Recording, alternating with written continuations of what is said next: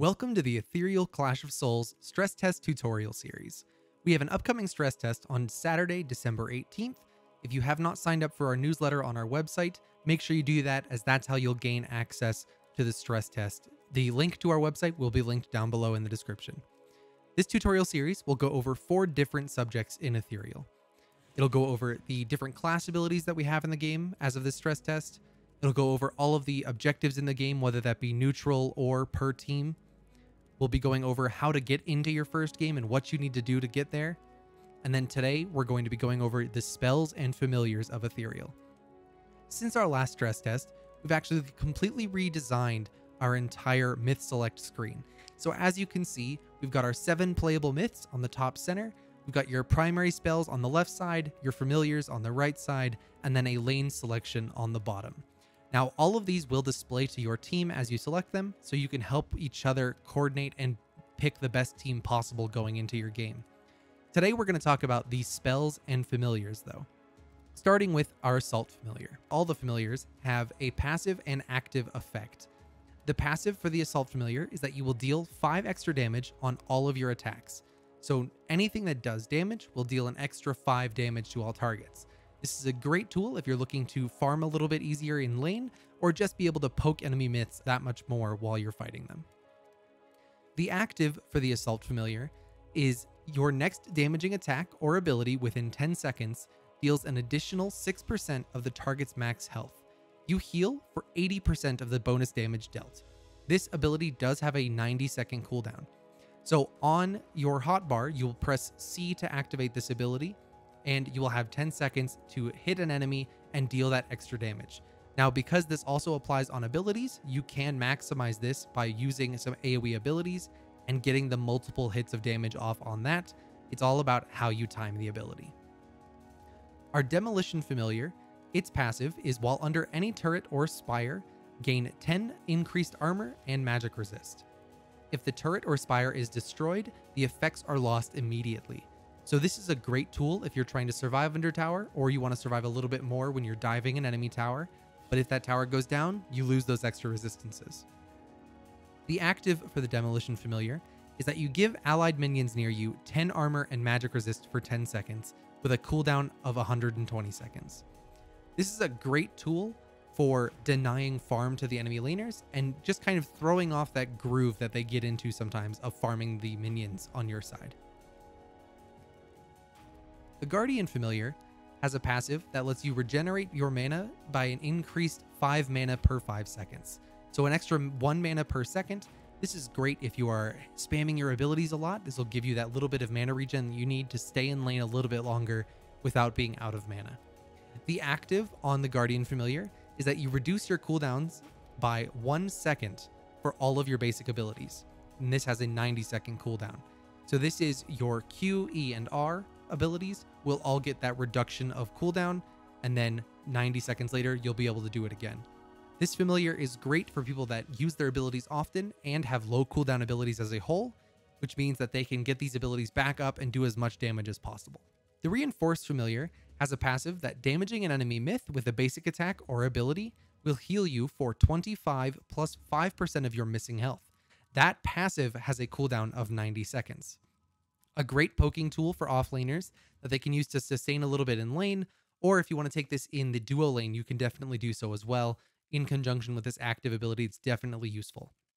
The active is that you can shield yourself for 50 plus 15% of your maximum health. This shield lasts 3 seconds or until it's broken, whichever comes first, and has a cooldown of 120 seconds. This shield is a great kind of get out of jail free card that you can use sometimes where you're about to die, you'll be able to press the button, get that percent health shield, and then survive just a little bit longer to get back to safety. After our familiars, we have our primary spells. There are six primary spells to choose from, the first of which being our Assault primary spell. The Assault primary spell's active is increase your damage and attack speed by 5% for 3 seconds, and this has a 90 second cooldown. This is a way that you can increase your damage very quickly and kind of get that surprise extra damage against an enemy, against a minion, something to help secure a little bit extra damage while you're doing so. The next primary spell is our Demolition primary spell. Its active is that you reduce the armor by 15% on structures and jungle camps for 3 seconds, with a cooldown of 60 seconds. This is especially useful if you're pushing down towers or you're trying to take those larger neutral objectives, like the Wyverns or Atropos, because reducing that armor, it's a reduction on the actual entity itself, be it a tower or jungle camp, so everyone that's doing damage will deal that increased damage by 15%. Our third primary spell is our Guardian primary spell. This has an active that you can shield yourself or an ally for 15% of your max health for 3 seconds. This has a cooldown of 75 seconds. Now, this is a great spell for a tank or support to take because it's based on your own max health. So if you have a lot of max health, but you cast this on a Dante, for instance, you'll be able to shield him quite a bit more than he would be able to shield himself if he was using this. So a great tool to keep your allies alive if you have a lot of max health. Our fourth primary spell is going to be our reinforced primary spell. This has an active that you increase your armor and magic resist by 10% for 3 seconds and has a cooldown of 75 seconds total.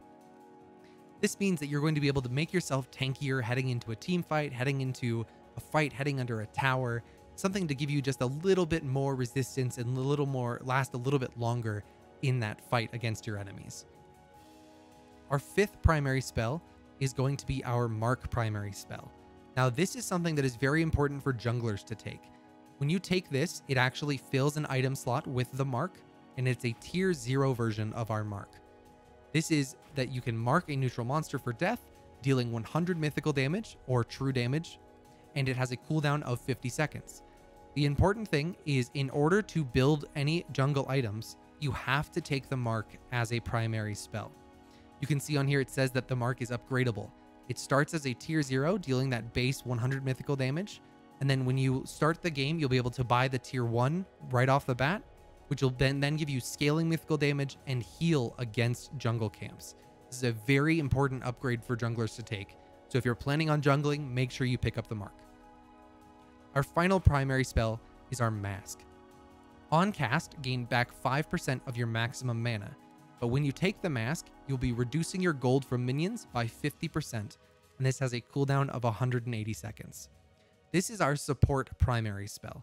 This is again an upgradable spell, so you start with a tier 0 version in your inventory, and the more you upgrade it, the more gold per second you earn that, to offset the reduction from minions but also it gives you a stronger version of this ability or a, a, much stronger AoE ability when you get to the tier 3.